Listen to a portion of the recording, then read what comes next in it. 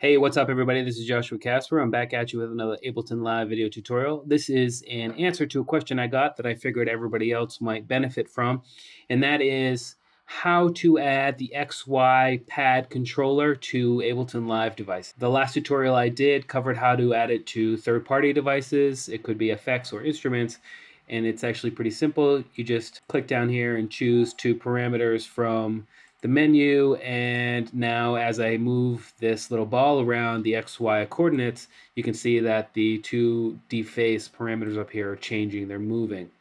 So all the way up for both of them all the way down you know just one just the other this type of thing. Could be very beneficial.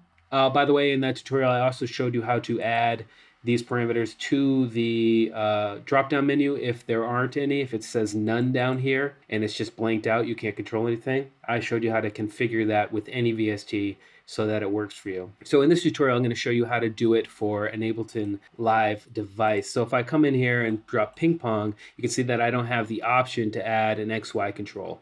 But if you have Max for Live, you have the XY pad, which is the same thing. And all you have to do is hit map and then the parameter you want to adjust and map the other parameter you want to adjust and now you can see as I move this ball around those parameters get grayed out but the values are still changing depending on where the dot is inside of this XY pad and you can get some really cool results.